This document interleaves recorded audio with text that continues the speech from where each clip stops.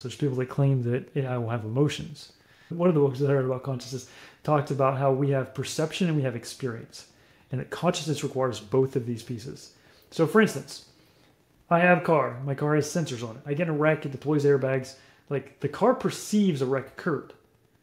But if you and I run into each other headlong, like our experience of wrecking is very different than two machines hitting each other. Both of us perceive. But I it. guess I guess my counter argument would be, how do you know that I experienced it? And that's that's the gap of, of consciousness. If I believe you're conscious, you believe I'm conscious, but we can't prove it per se. Oh. So therefore, how can we disprove it?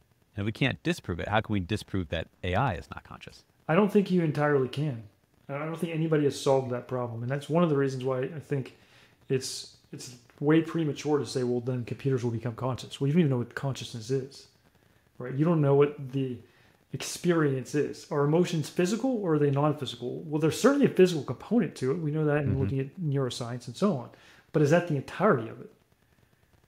Right. And so you get into some some weird things as you go down this like organ transplants and people that have you know um, heart transplants then start having cravings that the person they got it from you know had and they never even liked this food before. And it's like is this just anecdotal? I mean because there's there's tons of stories of that.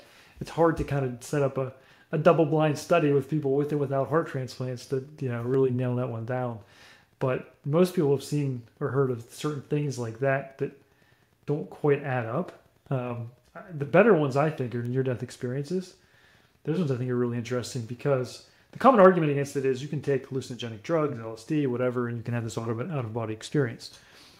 But near death experience, by definition, is when your brain is not working. Like literally in an MRI, there's no activity. Well, that's not the case when you take the hallucinogen. Your brain is very active. And so, show me how that experience can happen without an active brain. That's that's interesting. Another study was done specifically with blind people. Some were born blind, some uh, became blind over their lifetime had a near death experience and could see what was going on in the room, could see people outside the room, could describe these things, come back from the dead, their brain wasn't active, and they still couldn't see. It's like, show me the mushroom that can do that. right? so there's these gaps in what we think uh, the machine will be able to do versus humans, and we don't know why. Now, could there be a scientific explanation of that? I mean, there could be, but it's it would not be nailed down to specifically what's in the brain, which all neural networks are based on the way the brain works. Hydrocephalus patients, so these are people that have um, their brain replaced by cerebrospinal spinal fluid. So instead of having all of the folds in their brain, they have like a real thin. Um, some of the more extreme cases, it could be only be a couple millimeters thick. So it's like 95%, 98% of their brain is just fluid. And there's an example of one of these. Professor John Lorber did research on this um, before he passed away, uh, where he had a student at his university who was doing research that had this condition, and 97.4% of his brain was fluid. Um, and yet he had 126 IQ. Now, to be clear, the majority of people in these situations are severely disabled. But the fact that there's Physically even one mentally? exception tells me there's something more than the brain here. There's something more than physical wiring, at least that we're aware of. Certainly, I mean, science is what we're open to. I would be open to. Okay, let's let's find the physical explanation of that. But that would be like imagine what that would be if you knew what that was, and it's not the brain, it's not the neural networks. How much more advanced could AI come from that capability? But our best understanding is something outside of the physical realm, and then that gets back to the moral aspect of it, right? So do you see it as AI will perpetually keep pushing, pushing, pushing on maybe intelligence, but it will never kind of span that gap that makes humans humans and really achieve consciousness? Yeah, so there's, there's two levels to that. So one's the moral aspect of it, but the other would be the, the physical. Machines are way more intelligent than humans. Like I think it's an interesting argument that it's like, well, wait till they're more intelligent than humans, or wait till they're super intelligent. It's like I, I've never beat World of Warcraft. The thing's way smarter than I am, right? Like I can't beat a, a chess game. Uh, I, I'm a mechanical engineer. Like what the CAD can do and computational fluid dynamic dynamic systems and so on. Like try try to do that by hand, all that those calculations. They're they're way beyond us, right? So the argument that all of a sudden they're more intelligent, I find to be an interesting one. The only thing they're now more intelligent is is they've decoded human language, Mm-hmm.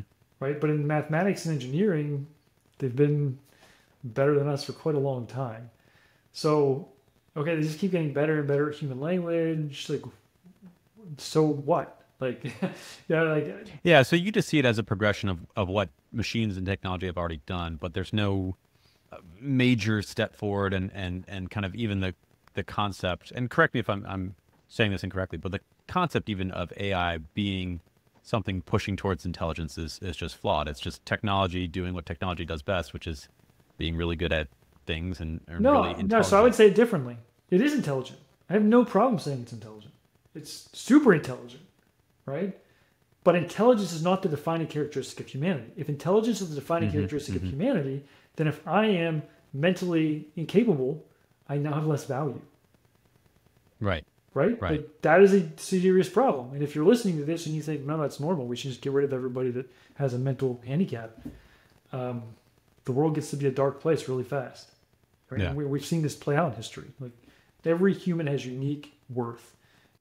If you enjoyed that clip, there is much more of that conversation. Make sure to check out the full interview where we get into so much more. And if it was helpful, click the like and subscribe button. If not, no worries. Hopefully, I'll convince you next time. I hope you have a wonderful day and enjoy wherever you are.